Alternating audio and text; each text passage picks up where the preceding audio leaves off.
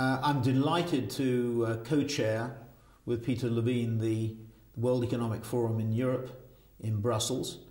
Uh, delighted to have this opportunity, and we're looking forward to discussing a number of key issues. I, I guess the first is the obvious one it's the economy, uh, and we're looking for stronger growth in Western Europe in particular to counterbalance the growth that we're seeing in Asia and Latin America and Africa and the Middle East and most interestingly, already in the first quarter of this year, the turnaround that we've seen in the United States.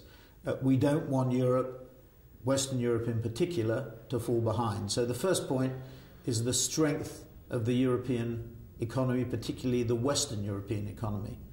Uh, the second big issue is sustainability uh, and the varied issues that we as heads of companies have in terms of corporate social responsibility or corporate responsibility and making sure that we, we take forward some of the progress we made in Copenhagen, not enough clearly, but these issues of climate, social issues, environmental issues are critical issues that we have to make further progress on. And the third area, last but not least, is given the fact that we have new representation for Europe, is ensuring that Europe as a whole has a significant role in geopolitical issues and security issues around the world.